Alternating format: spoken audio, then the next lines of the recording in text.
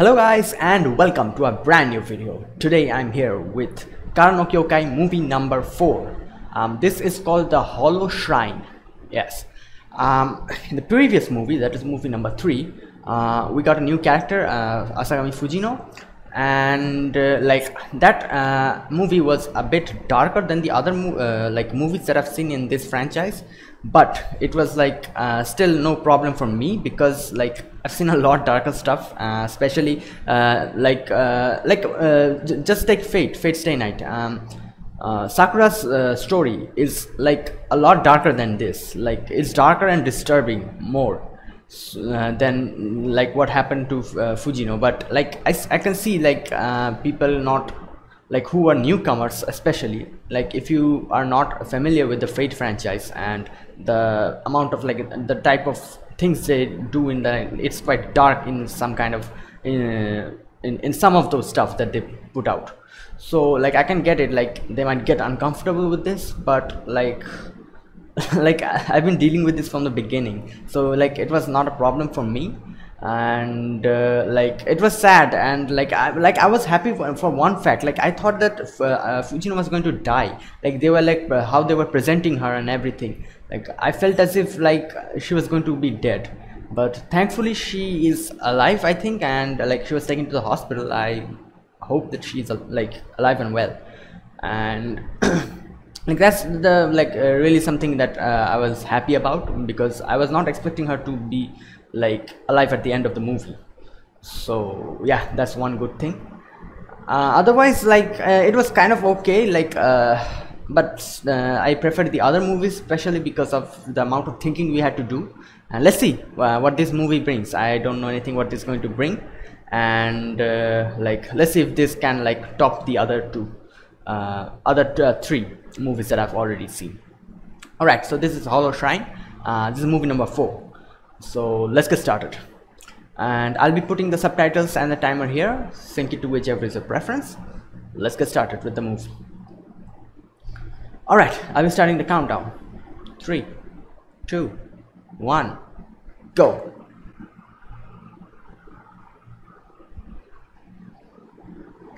Okay. Ah.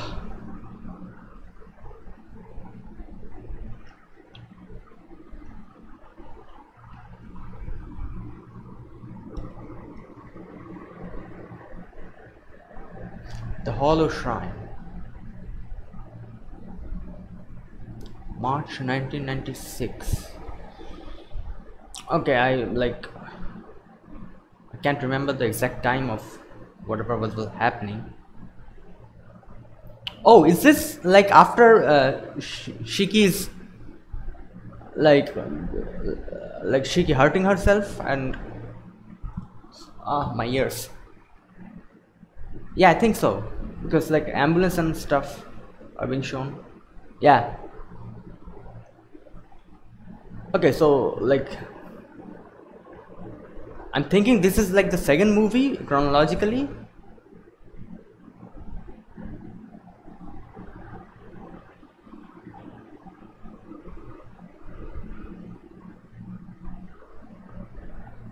And we also did not see how she like like did she stab herself or something? Yeah i think so like her stomach is bleeding we also did not don't know how she came into this position like.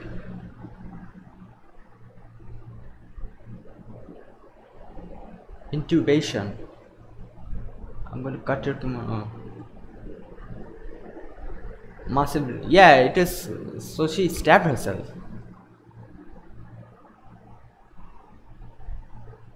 She's hit in the head as well. Oh this is that guy um, from Shiki's family uh, the butler I think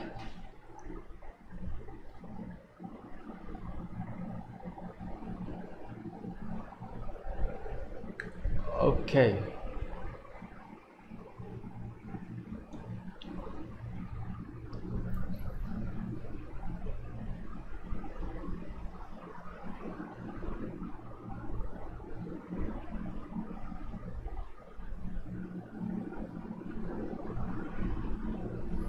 Hmm, alright.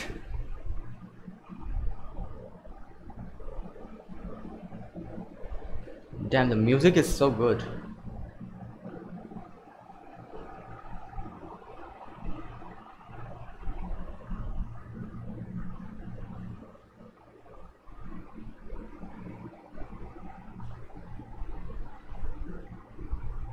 Oh, what is happening here?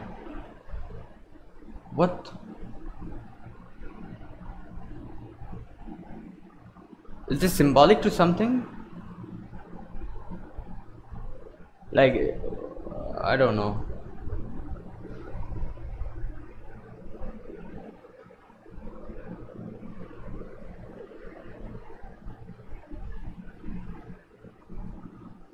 Hmm.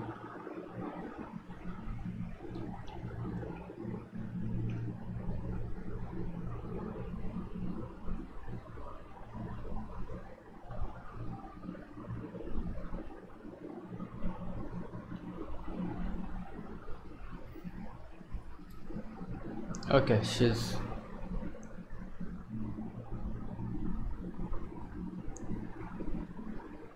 so like is she in a coma now or I think so because like they're showing her inner world or whatever that is.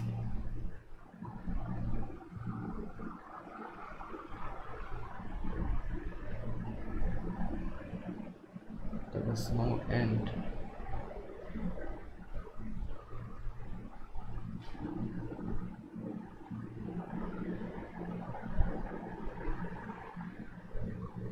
Is she like she she's conscious now or not?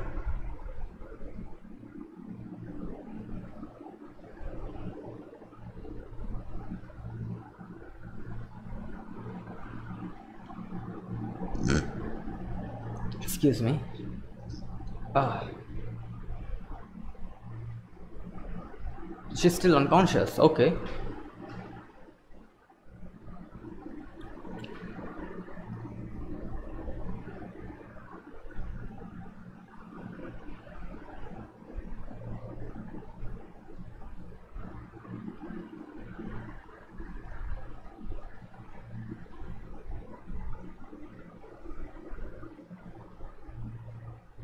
What is happening here? Like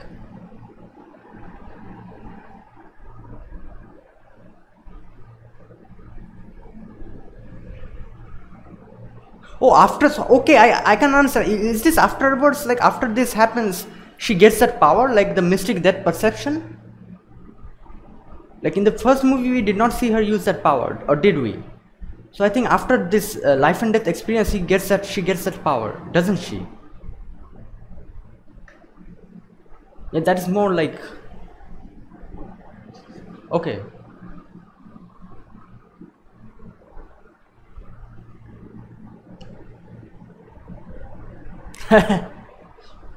okay.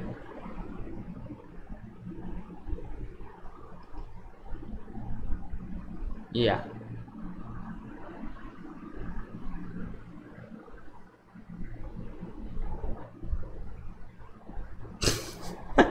Okay.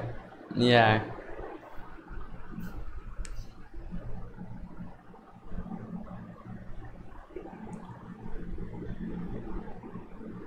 Damn, this looks a lot like Shiki.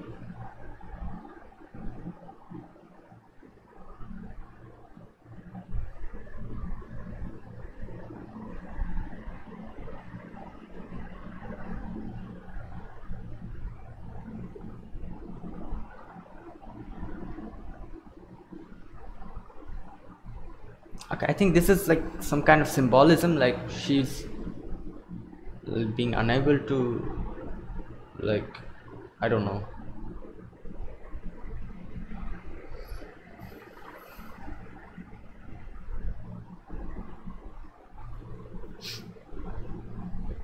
Okay, she's. Ah. She's awake, so.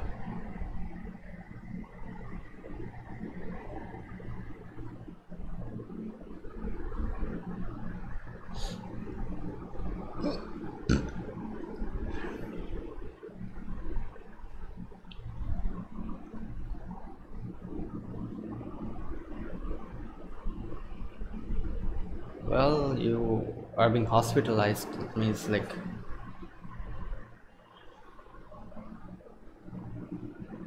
Hmm. Oh yeah. Okay, so my guess was correct. Look, after this, she gets the death perception thing.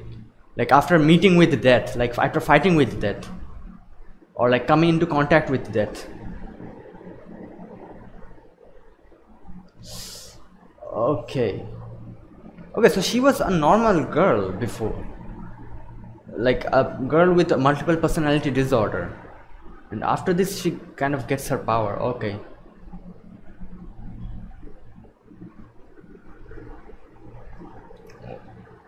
Okay, alright.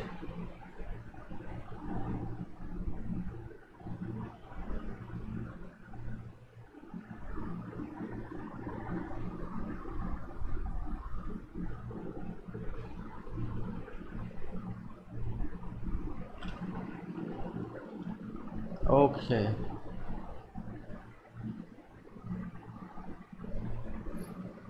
Damn, seeing like this scene always is extremely freaky.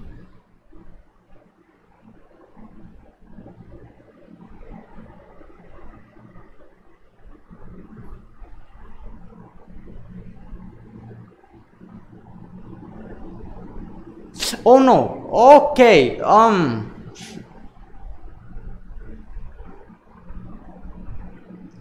Okay, I was not expecting that at all.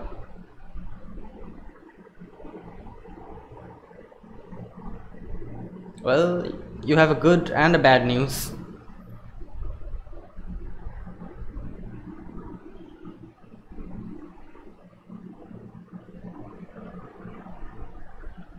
Hmm.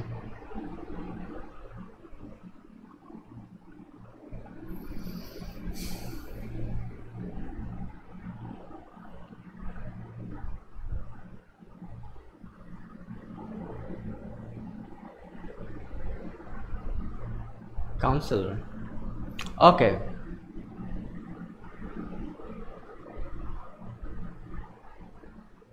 well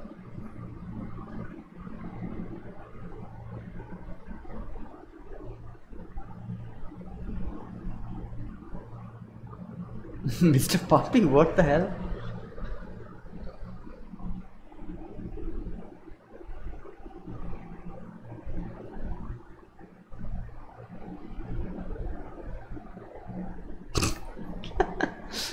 Well, who doesn't? Oh, okay, who is this? Some kind of Yakuza or something? Speech therapist.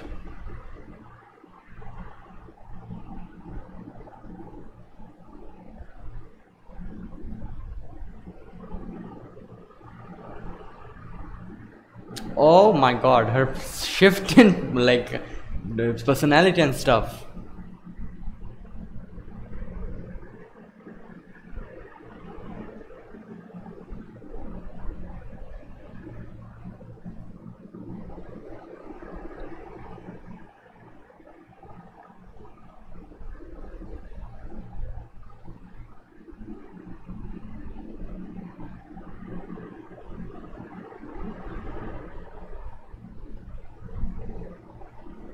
Aphasia okay um i've heard that word before. Aphasia what was that i forgot. It's mistaken i just don't need to be bothered. Brain was damaged. If you don't talk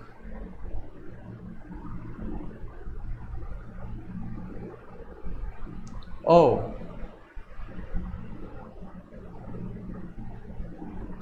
yeah.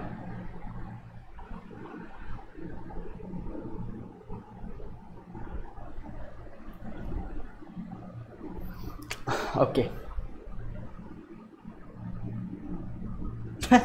magician. Okay. But she is a magus, not a magician.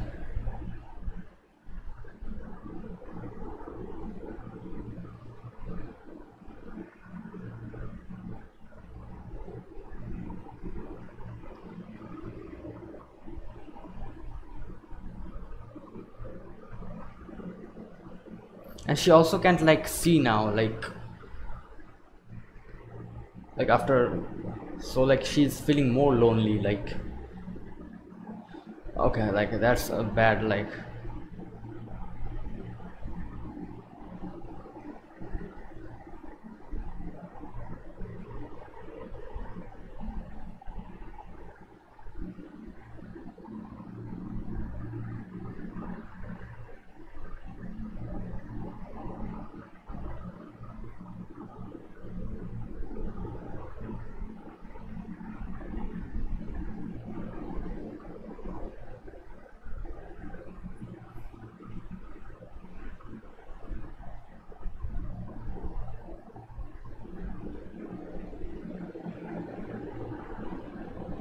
Oh, you should probably not.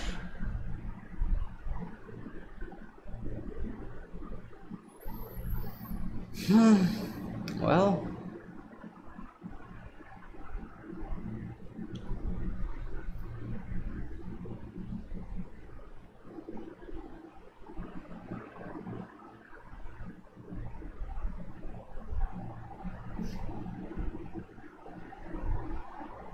You shouldn't see her yet.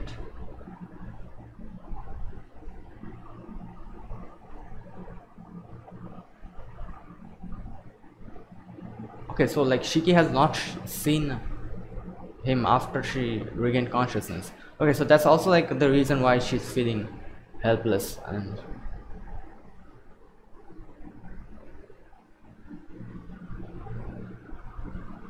what the hell is that?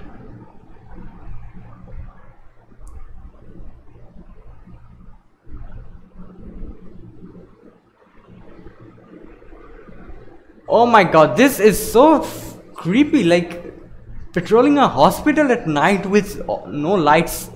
Damn, like. Oh, oh, oh, oh, okay. She can sense spirits as well now. Like. Oh.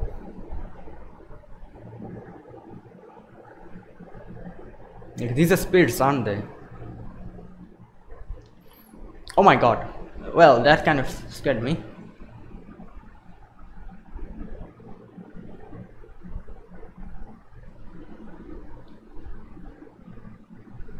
I'm coming in. What are these like?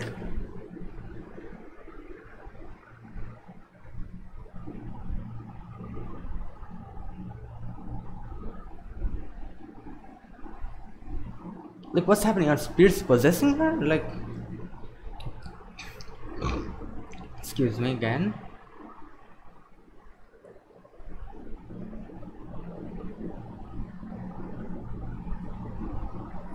My god, like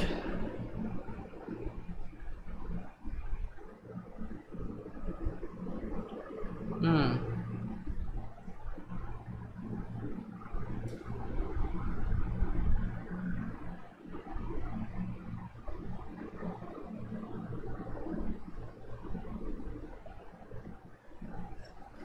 I'm very happy.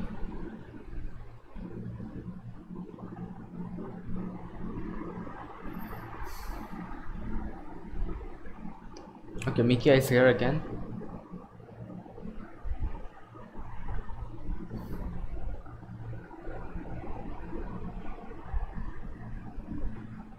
Wait, what happened to the flowers? Oh, there they're there.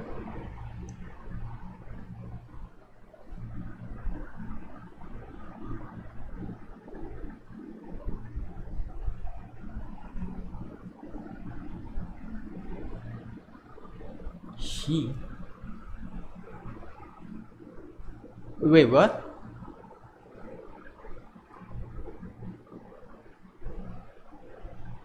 Oh, so okay, that Shiki with caps is the other personality?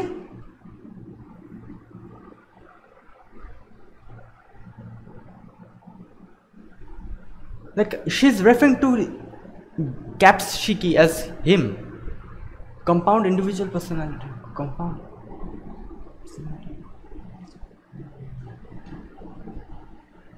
Compound individual personality. She doesn't need to be asleep. So that's a guy, okay.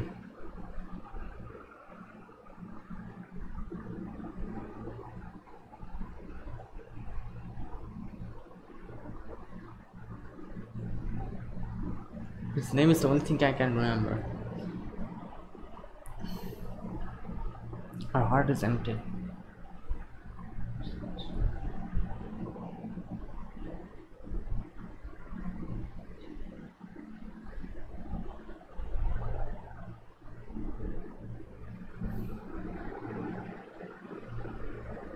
Okay so okay these are not spirits so like her personalities.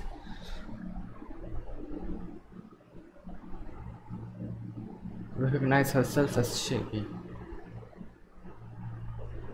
born by hmm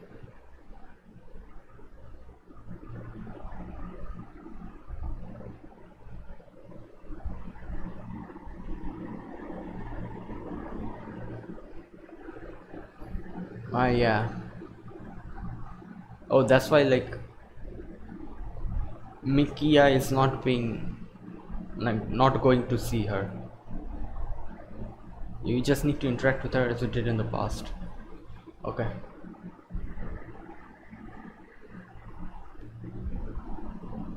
Lost part of your memory won't return.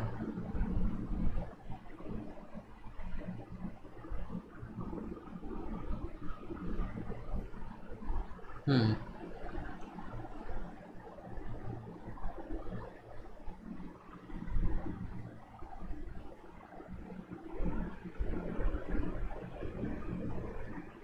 If he hadn't said anything, you should have disappeared. I don't know why. Yeah. Scissors. Scissors? She wants to cut her hair or something?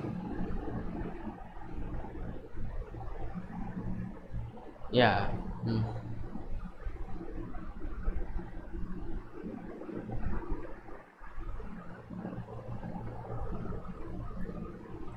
Hmm. Is he going to call Mikiya or some?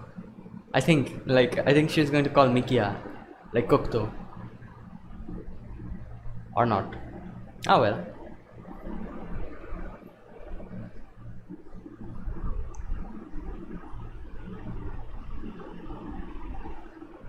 someone else might be here okay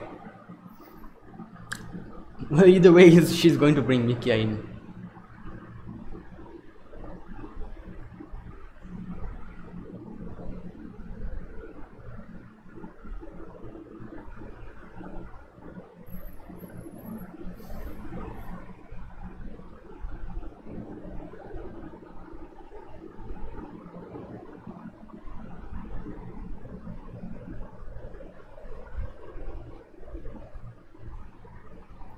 um, what is that?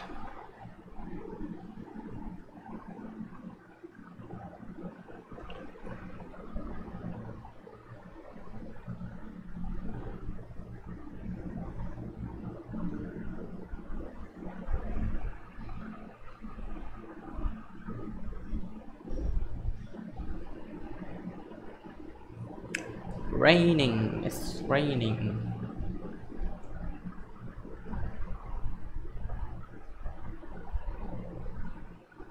okay it's quite dark over here.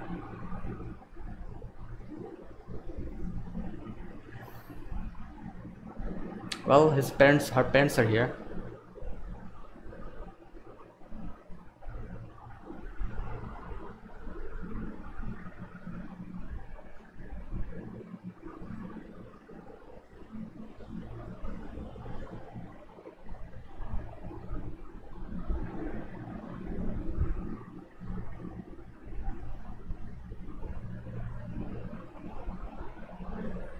it is like going to freak you out if you always see lines like that. Oh.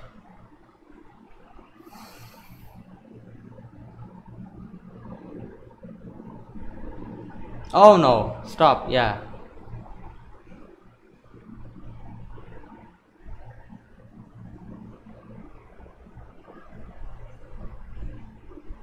She's seen death. That's the reason why she sees death now mystic as of death perception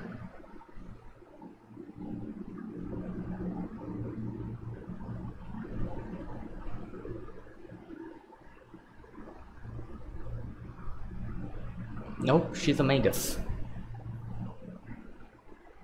Yes.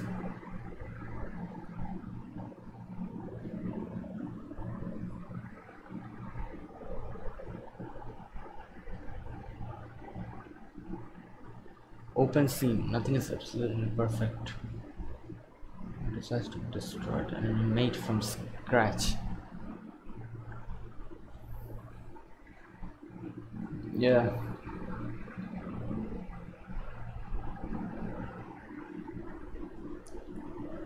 Death for a while. The brain understands it. See death.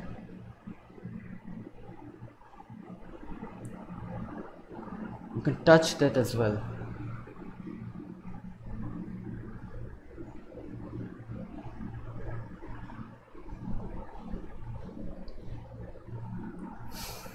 Hmm.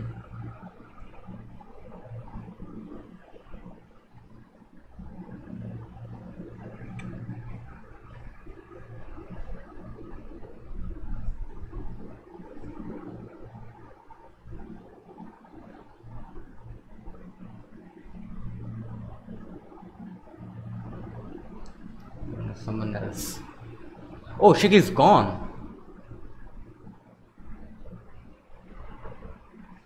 Oh, wait. You say you don't want to die. No reason, but it's. Hmm.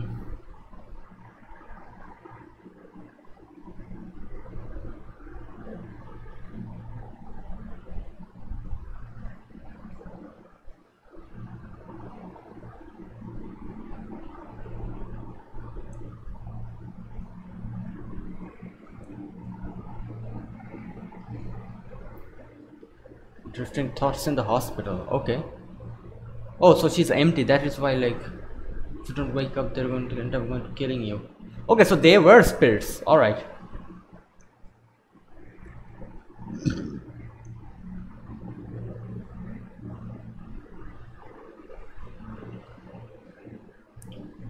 Use protection. Oh, okay. So that was uh, her doing. All right. That uh, sign.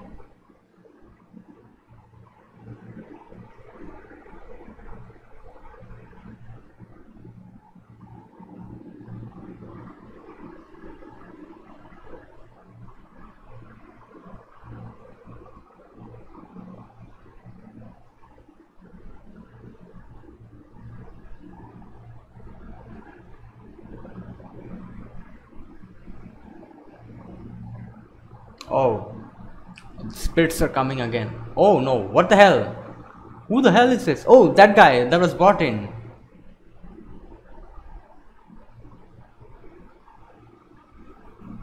God damn. What is this? Some kind of zombie? Ah, shit, it's drooling. God damn.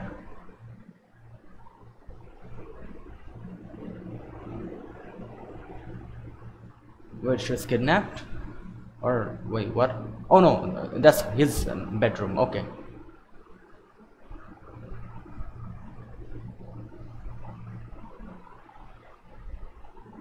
In short, an empty hole must be filled with something, not with memories. Yeah.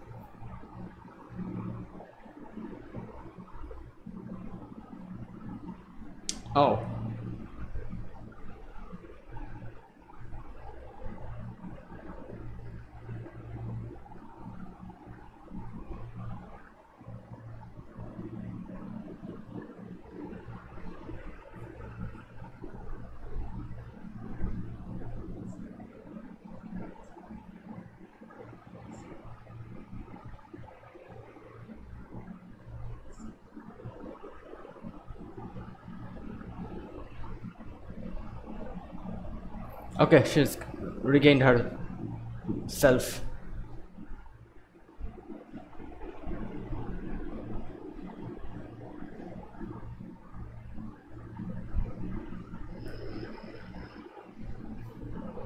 Okay, she needs a weapon. As far oh god, god.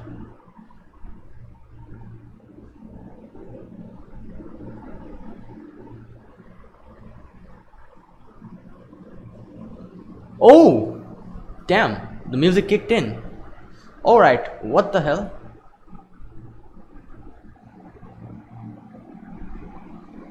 God damn! She, she can't even see, and she's like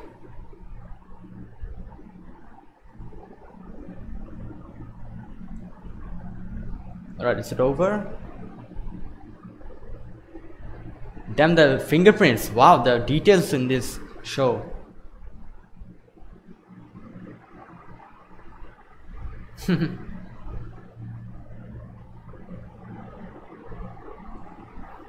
Spiritual entities are. Oh, okay. So that's more like a vessel.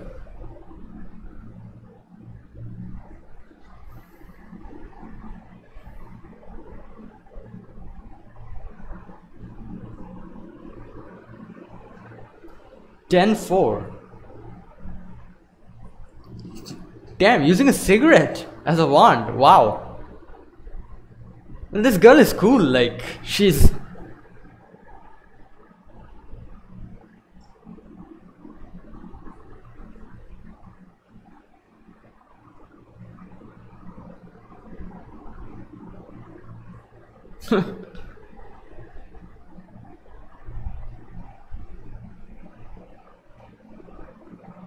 yeah, like. Hmm.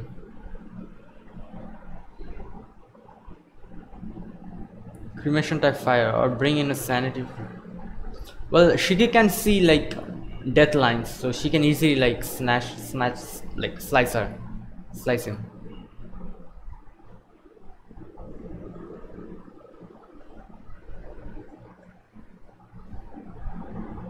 It has lines, death lines.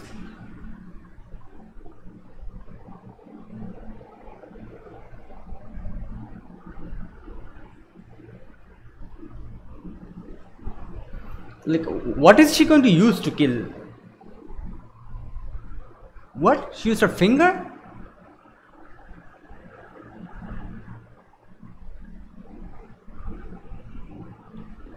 oh oh damn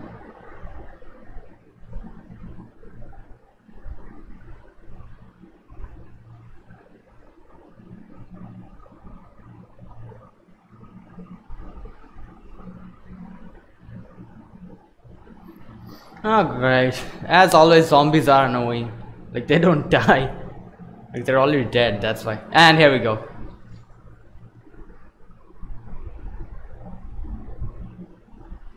Woo!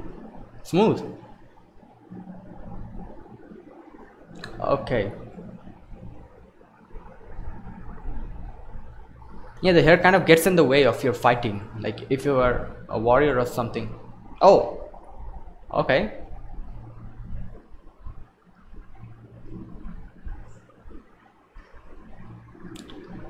Okay.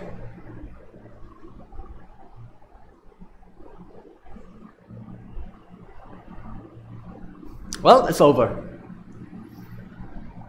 Like her power is like too broken, like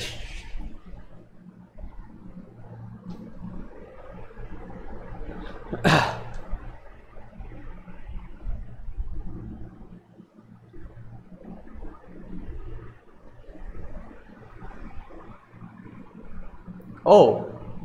the spirits or residual thoughts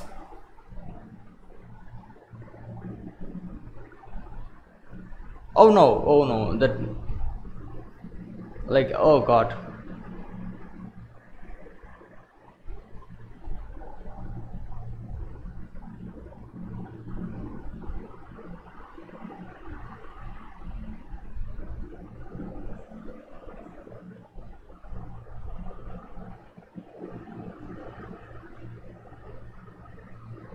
what is she doing?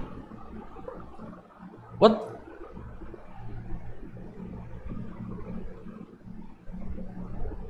Like I get it that she did that to like drive the spirits away but like she stabbed herself and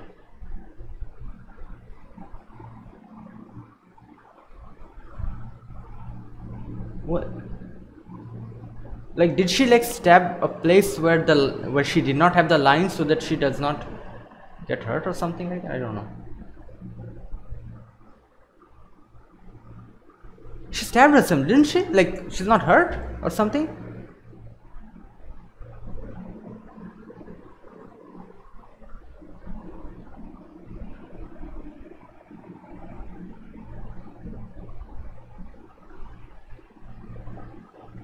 She'll work for me. Okay, so that's why she like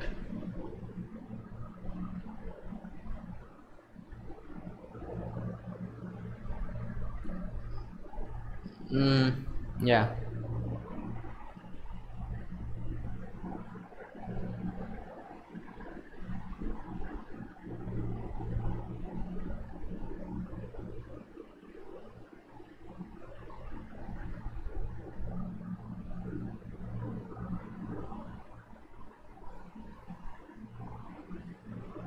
This pitiful too.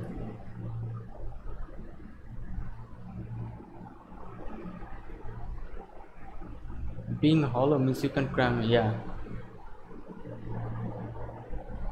Like an empty book, you can like mold yourself in whichever way you want.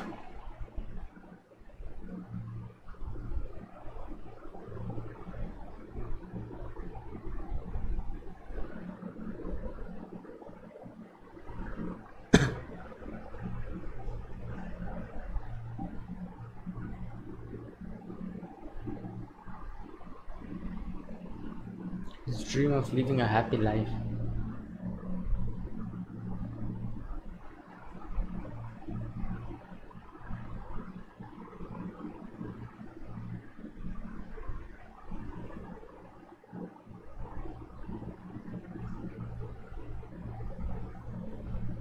Hmm.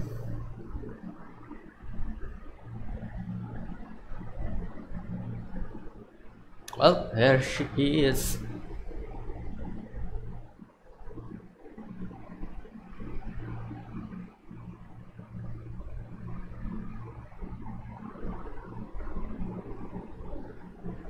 Mm, Yeah.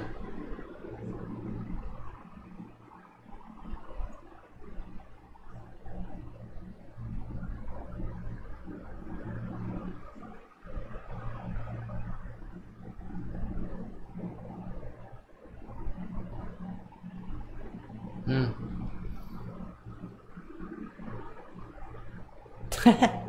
yeah.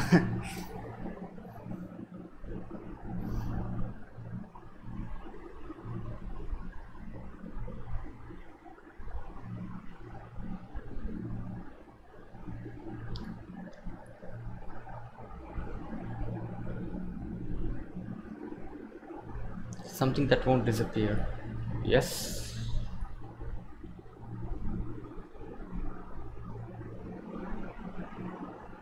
Wait. Is that the end or something?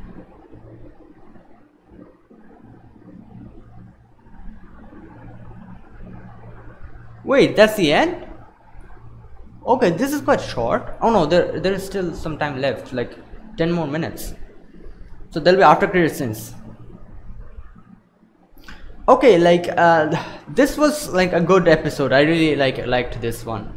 Like nothing much happened, but there was there was like this was like a something that kind of like uh, shed light into whatever that happened after she went into coma and one thing like uh, i was quite impressed by another thing is like uh, like i'm talking about voice actor and actresses um, if, you, if you've seen Fate Grand Order and like I played the game, uh, Leonardo da Vinci, uh, she is like uh, voiced by Maya Sakamoto. Uh, the same Maya Sakamoto who sings a lot, lot of songs for uh, Fate Grand Order, Fate series as well. So this Maya Sakamoto is the voice actress of Leonardo da Vinci. And uh, Romani, Dr. Romani, who like always stays like with Vinci and stuff in the game, he is voice acted by Maya Sakamoto's real life husband. Okay, that is okay. The same thing is here as well. Like, um, Shiki is uh, voice acted by Maya Sakamoto, and uh, Kokutou or Mikiya is voice acted by his real life husband. Like, this is something that I kind of found out recently, and that's quite cool. Like, um, real life couples, like, uh, like voice acting in like anime couples as well. Like uh, vinci and uh, romani are not couples by the way but still like they like always uh, are like together and kind of stuff so uh, yeah that's the thing. Like that's something that i found out recently and that kind of like made me like wow. Okay this song is good. Damn. Like as always the songs the quality of the songs are just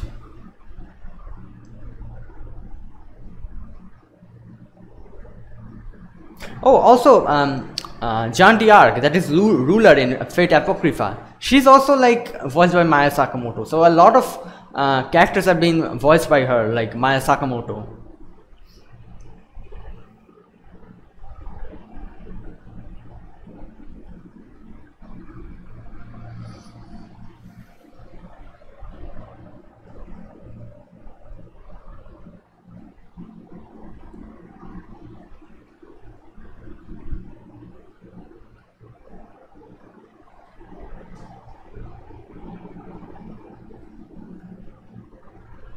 oh another thing i have to like uh, clarify here is that uh, at the first like when i saw like uh, them like saying that shiki that is the full caps shiki that is the shiki which is the multiple personality um like i have to confess here like i forgot his existence completely. Like in the uh, second movie like he kind of came out uh, like uh, in front of Kokutou and stuff and they kind of like went uh, eating i think yeah.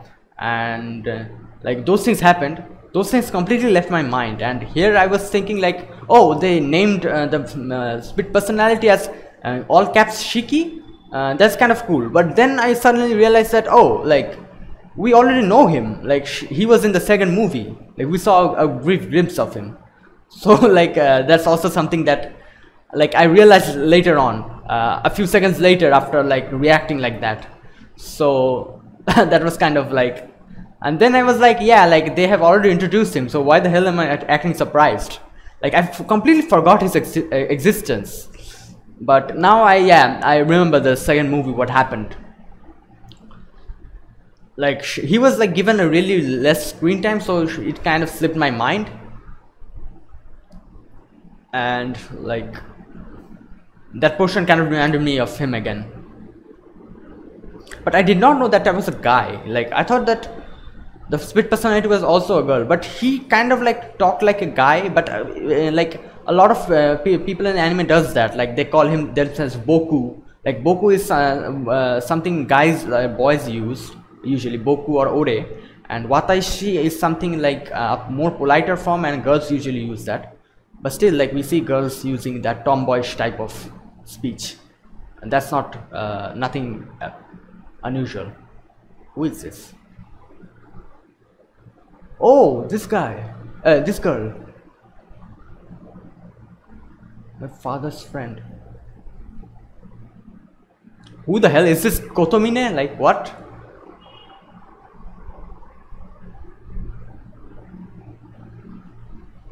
Oh, so this guy was like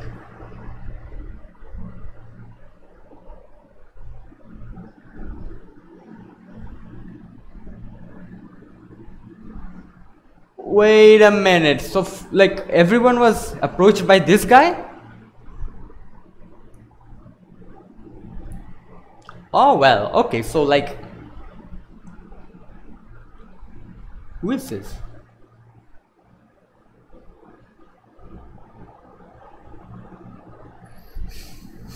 There's always a guy like this in the fate franchise uh, like in the Type Moon franchise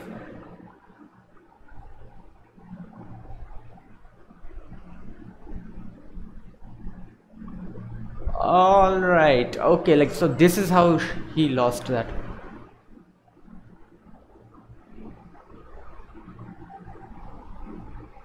Who the hell is this?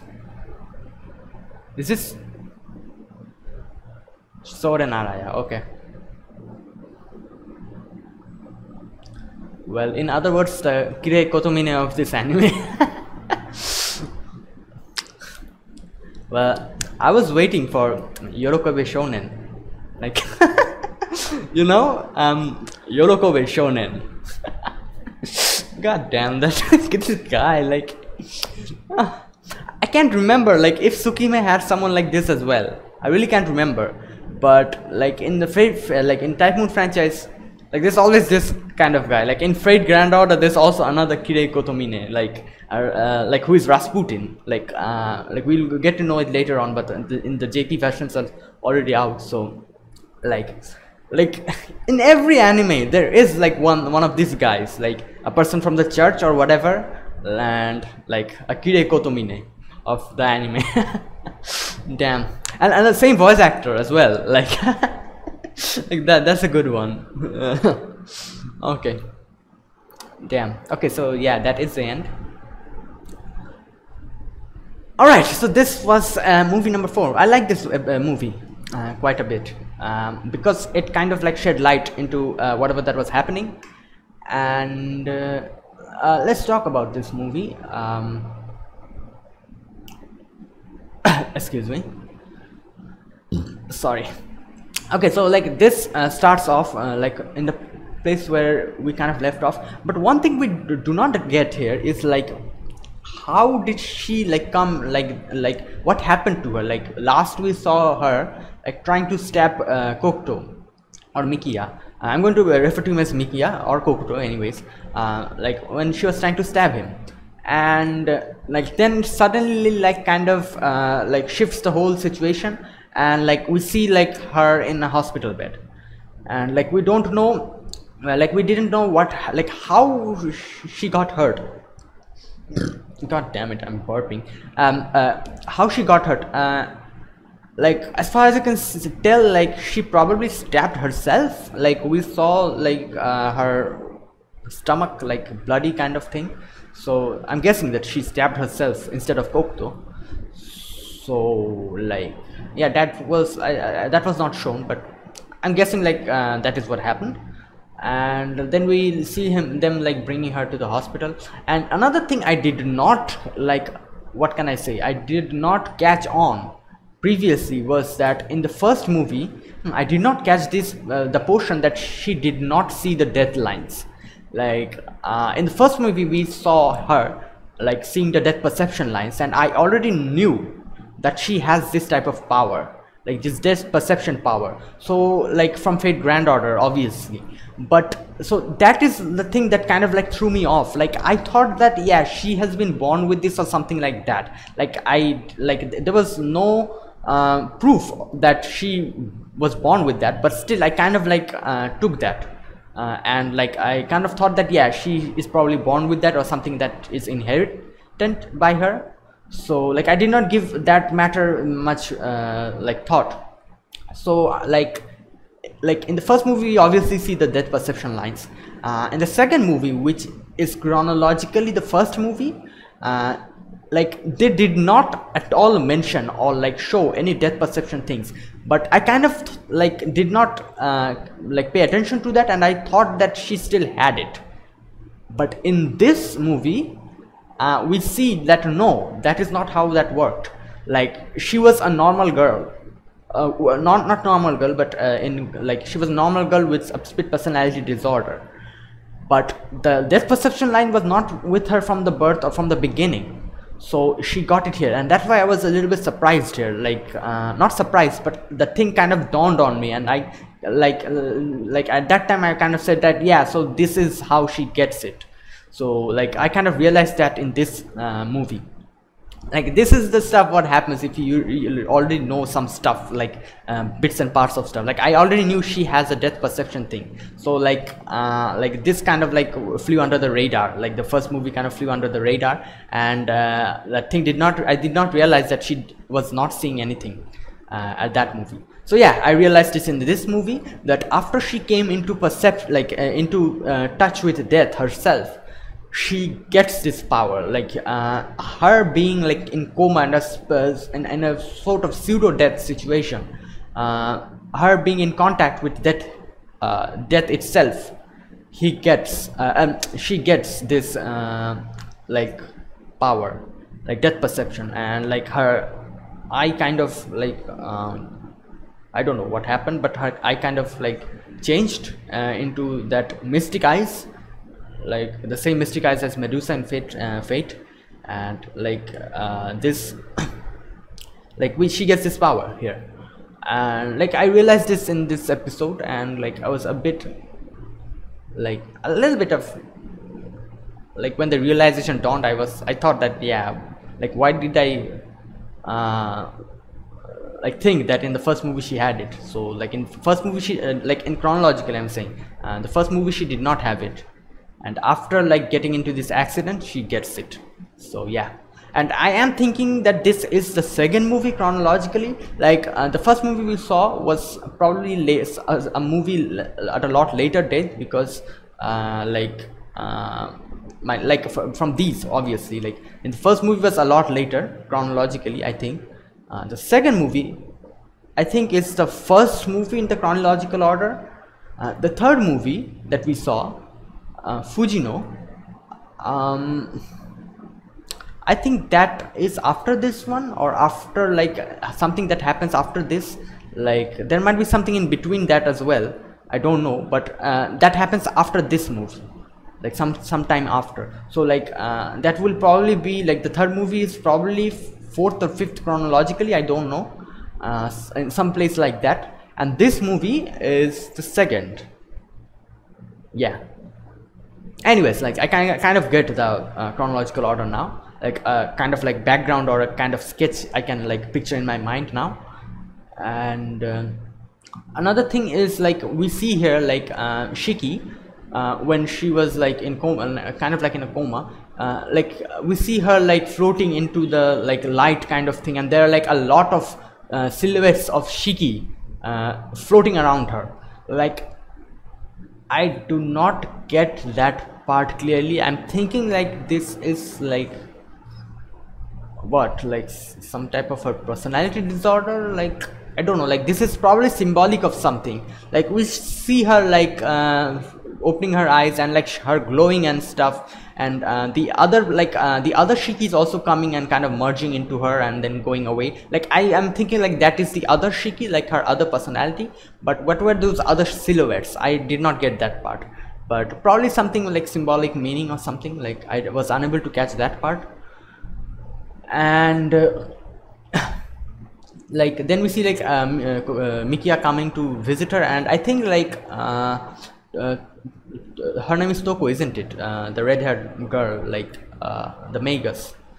She did not let him visit her because like like if he visited her from the beginning like uh, here's what I think. If like if Miki, uh, Mikiya visited uh, Shiki uh, right after she woke up like uh, her own problems wouldn't go away. Like she had a great like big problem. Like she would like just take uh, what can I say? Like comfort in that yeah at least one person is with me that is Mikiya and like her real problem she would not fight them so I think that is the reason why uh, Mikiya was not let, like uh, not allowed to meet Shiki until and unless she fought her own demons, she fought her own uh, like uh, fight inside her and emerged victorious. Like after that, she, she, like Mikiya was allowed, and I think that was the reason. Like if Mikiya was like uh, uh, like met her from the beginning after she woke up, uh, I don't think Shiki would uh, improve or like uh, not improve but Shiki would um, clear the problems she had within herself. She would just like uh, take shelter under Mikiya's umbrella. Like this is a metaphor. Uh, she just take shelter under Mikiya's umbrella and like the problem would uh, come back later on again. And like you have to like beat the disease. Like you have to cure the disease after like before like uh, like taking help from someone else. Like you have to fight the fight yourself before uh, like asking someone for help. I think it is like something like that like she did that stuff just because of that. Like like she had to win it herself. Otherwise like it would be like no use. She would she would revert to that state later on. And uh, like then we see excuse me uh, then we see like uh,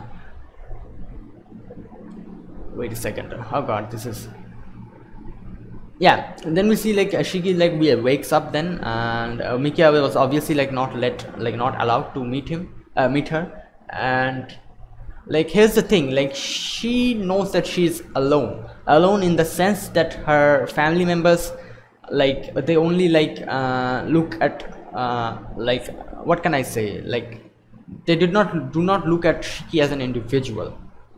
But her father like as we saw before like only cares about uh, her like her becoming the family head or something like that and like stuff like these. So she is like obviously like feeling alone and lonely and Miki was the only one who kind of like uh, broke her shell. But here again we see her alone and like like that is one thing. And after waking up if you suddenly see like lines in front of you like that's going to freak you out. And you, you you are going to think like what happened to me? Am i going mad or something?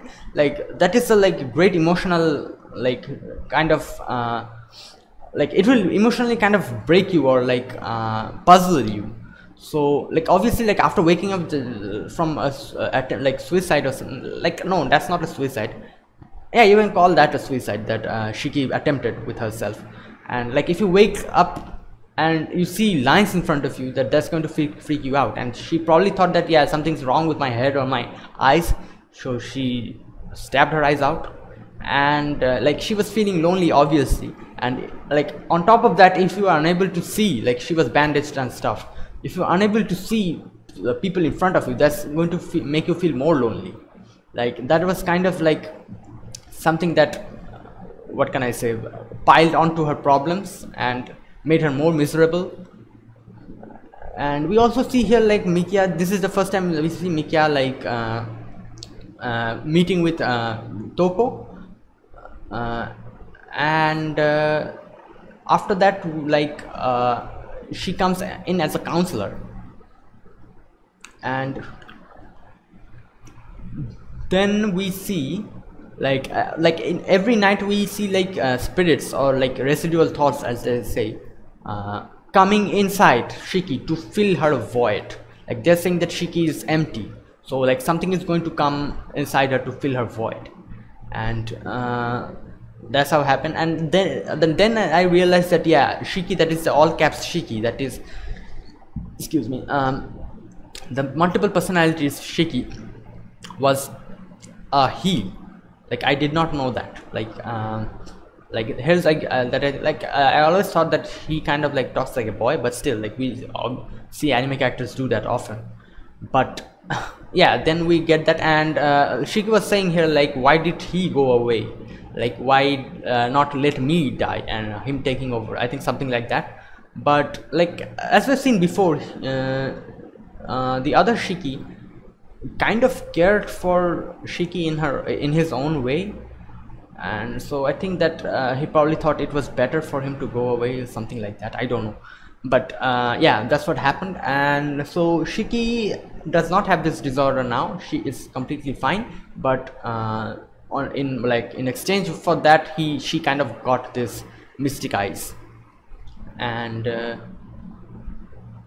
then we see like uh, the counseling sessions and stuff. And after that let's see what happens. Um,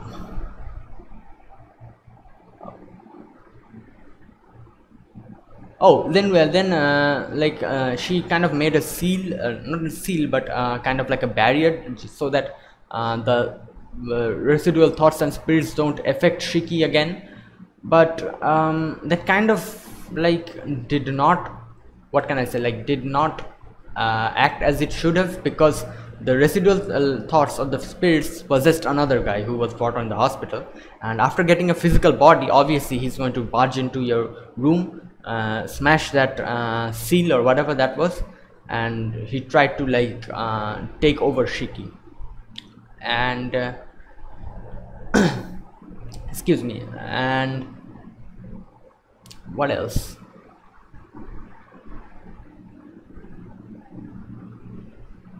just a sec. Uh, let me just see what's happening here.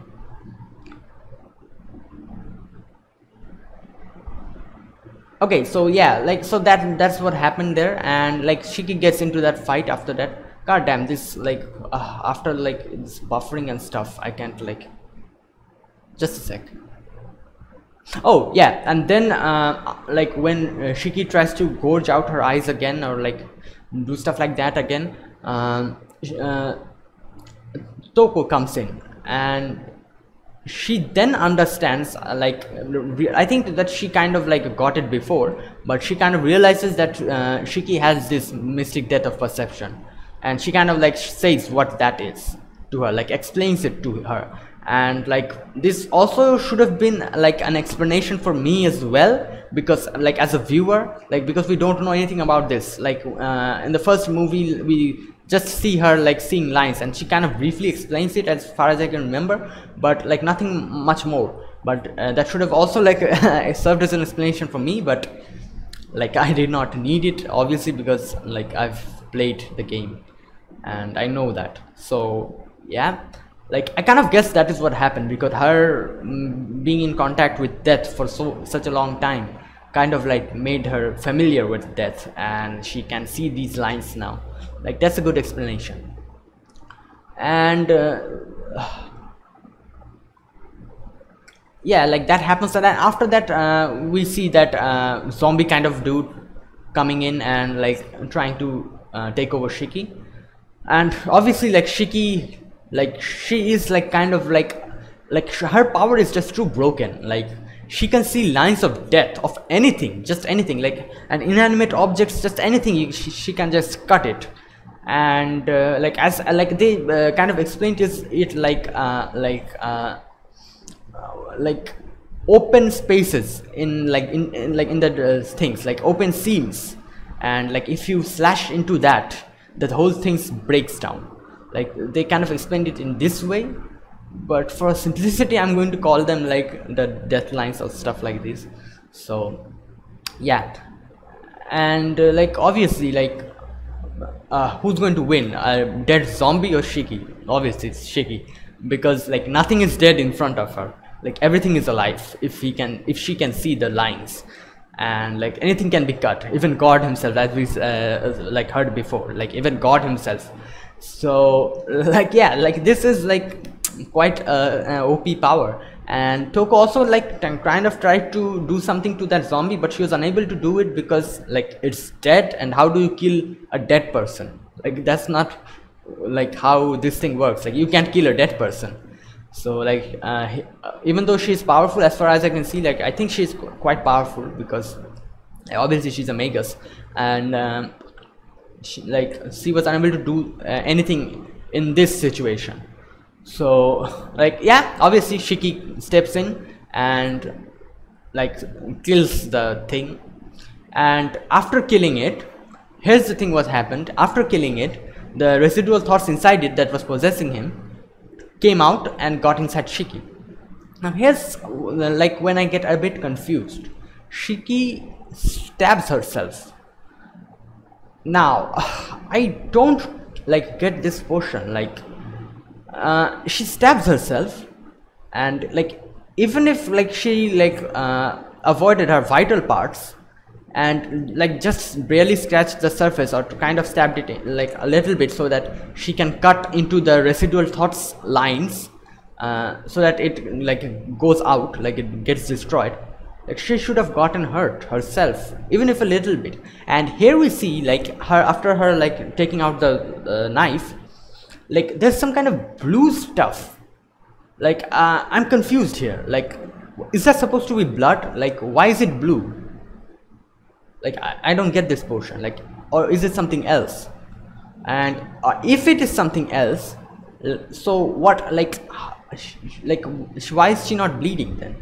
Like she like stabbed herself. Like a little blood should come out but if that is not blood that blue stuff then why is she not bleeding and like the, on the later day we also see, see her, her like band like her throat is bandaged because of that uh, like the zombie kind of like strangling her. Like that portion i can get. But like like is there any bandage on her chest? I don't think so like. So like how did like they bandaged her throat for just for strangulation but they did not uh, like bandage the wound? Or was it not like, like here like this is kind of confusing me like i don't know like so what did she stab? Or like did she like barely stab herself so like the wound was no such big deal and they did not like uh, need bandaging it or something like that? Like uh, like uh, that was a little bit like kind of confused me i don't know. But anyways like i kind of get what they were trying to do like like she killed the residual thoughts of the spirits whatever so that they don't take over her body. And she becomes normal after that. Anyways uh, uh, after that we see like uh, like she kind of like fainting and um, brought she brought back to the hospital. Mikiya comes and meets her up but for the first time after she like regains consciousness. And uh, like like Mikiya was a bit like uh, concerned like if she is going to be able to like uh, recognize her. But thank god she is like not amnesiac am amne amnesiac no amne whatever. Like you guys know what i'm saying i can pronounce it well. Anyways uh, like her memory is fine just okay. And like then we can see the credit scene and after that is an interesting little portion. Like here we see Souren Araya coming in and like all of the people who we had fought before like that uh, like that girl who like sees uh, like uh, like who has an outer body experience that girl um, uh, Asagami Fujino and these two so these two were like uh, given their power by Souren Araya so yeah like he is trying to do something and as always we should not trust uh, Kirei Kotomine characters in uh, especially the Type Moon franchise. Do not trust them. And like uh, I'm thinking that this is also like he is also some part of an organization or something like some kind of church.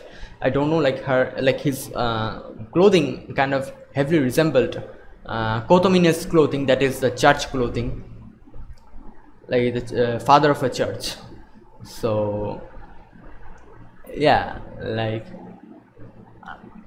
like and there's another thing that we kind of get here is that uh, we can see here Fujino like uh, like uh, stumbling on the uh, road. And then like like here's something that he says. Just a sec.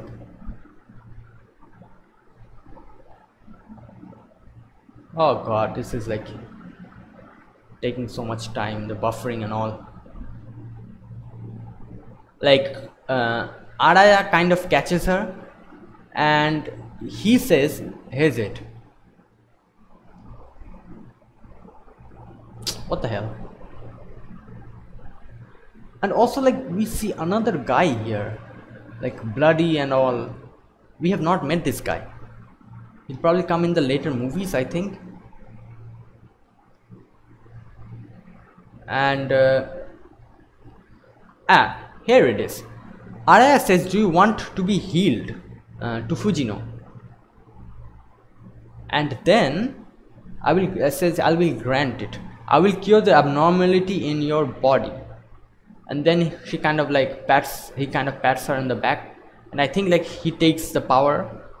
And I'm thinking like uh, the power he takes out was the feeling of insensitivity which Fujino like uh, suffered from so like we see here like uh, in the uh, previous movie we saw like uh, they them explain that Fujino had already lost that power. So after losing it uh, she like uh, gets hurt by the uh, bat and she feels pain for the first time.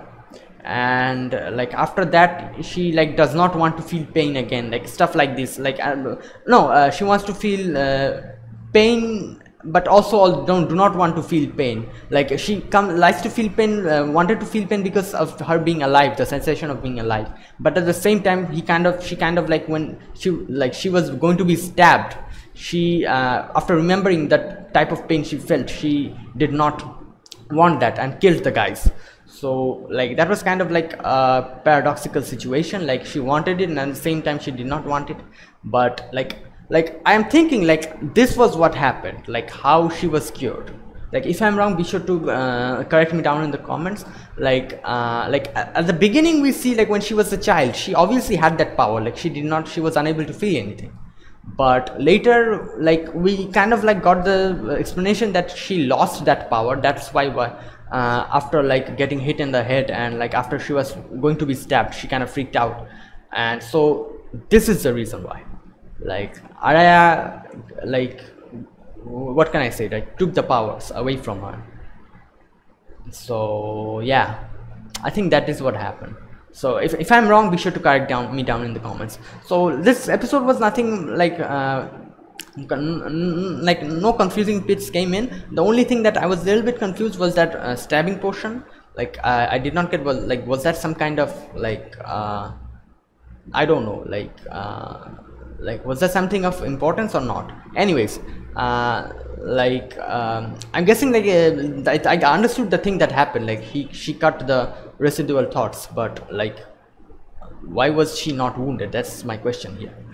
So anyways um so yeah that was this movie. I like this movie because like only because like it involved uh, shiki and kokutou and like i really wanted to know like what happened after she was like uh, she went into uh, hospitalized. She was hospitalized. So this uh, answered my questions. And I think we're probably going to see more of uh, Souren Araya later on. Like as far as I can uh, say like see like he is probably the main antagonist here. So yeah we'll probably get to see him more. And uh, and also that guy like the guy uh, at the ending like we whom we did not see like who had like uh, what kind of wavy hair and who was also asking her, him that who are you? Uh, we're probably going to see them as well. So yeah. So yeah guys uh, this was episode uh, movie number uh, four. Excuse me. God damn it my this is movie number four. So thank you guys for watching. If you guys enjoyed my reaction press the like button and subscribe if you're new to the channel or you haven't subscribed and be sure to comment down below whatever you want to say your opinions about this uh, uh, movie. And uh, like I'll be sure be sure to check them out. And also like uh, the thing that I like if I have said something wrong or like misunderstood some portion uh, uh, be sure to correct me down below.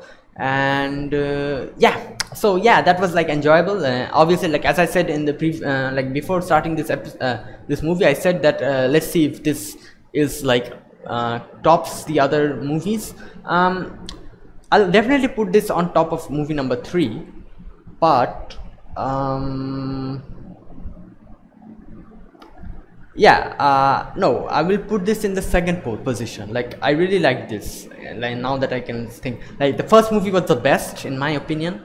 The, after that movie this movie comes in that is movie number four. Then comes in uh, movie number two and then is movie number three. Like that is my ranking now. Like um, i like this movie quite a bit. Like we obviously because we get to see more shiki and mikiya so yeah. So yeah guys uh, thanks again for watching if you're still here. And uh, yeah i'll be back with a new Kara no Kyoukai movie in the next week. So until then goodbye and have a nice day